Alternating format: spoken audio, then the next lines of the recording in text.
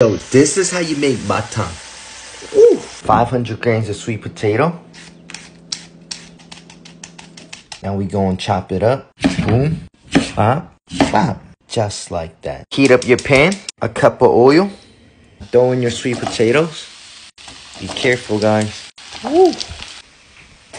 Kobe. We're gonna check for the consistency. Ooh. All right, we're gonna drain these jones out.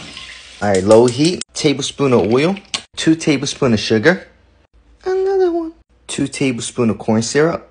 If you don't have one of these, just go with sugar. Now, once you get this consistency, throw in your sweet potato. We're gonna mix it up together. Ooh. Now move it over to a plate. Now finish it with sesame seed on top. Moment of truth. And that's how you make sweet potato banchan. Mmm. It's on crispy too.